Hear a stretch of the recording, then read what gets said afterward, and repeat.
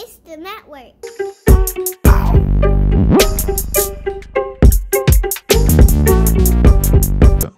if I'm trying to promote an album and um, I have an ad spend behind it, and I already have singles that are out that are doing well organically on platforms like Spotify, would it make sense for me to push like all of my ads, ads or is it better spread it for the whole album?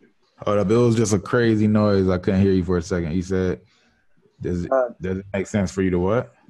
Does it make sense for me to push singles that are already organically doing well, or should I try to push the whole album with the, the budget that I have? I I mean, I always lean towards push the songs that are already doing well, honestly. Like you want to get the most out of your songs.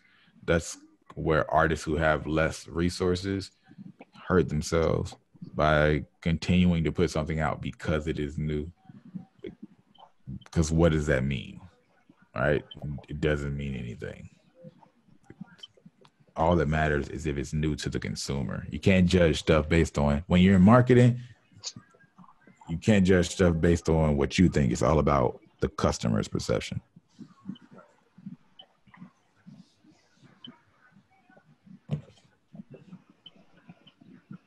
So you said it's smarter to to have something you have already out has momentum. You give it more instead of having to start from scratch, make something new, and then put it out because you think it's new. It's better to see it in the eyes of other people listening. Exactly, man. I mean, at the end All of the day, man, you have to give feedback, and there's nothing gonna be. There's ne- never gonna be anything greater than feedback. There's artists. Artists will tell you, like, I thought this song was the one, and it just didn't do what I thought it was gonna do, and then they'll tell you that I didn't think nothing about this song, and then it took off. I got I got videos on YouTube like that. It's like, man, uh, I'm gonna hate having to put this video out, but I gotta.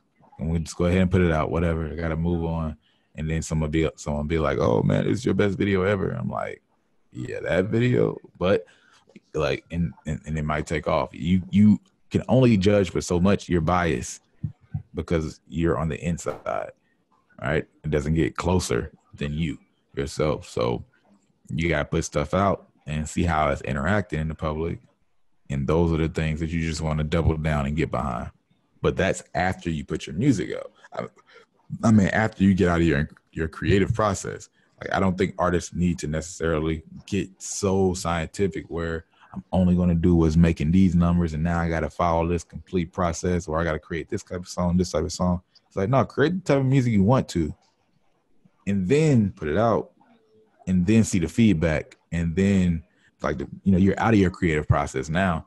Now you're like, okay, I'm going to read how people react, and I'm gonna double down where they react. Yeah. How long? How long would you say is a good period of time to push a mixtape? Like six months, four months? You said to push a mixtape. Yeah.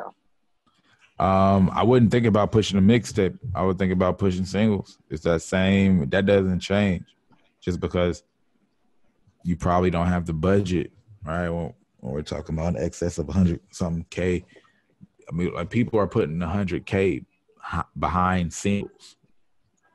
You Yeah. get what I'm saying? So to try to spread two k over a whole mixtape is not going to give you the best bang for your buck. But if you can push a single for six months, that would be nice and and stretch it, get the most out of it. Now, if you're like, yo, I'm pushing this thing and it, it looks like this ain't the one, then now you make that judgment, pull out, and then do the same thing with another song.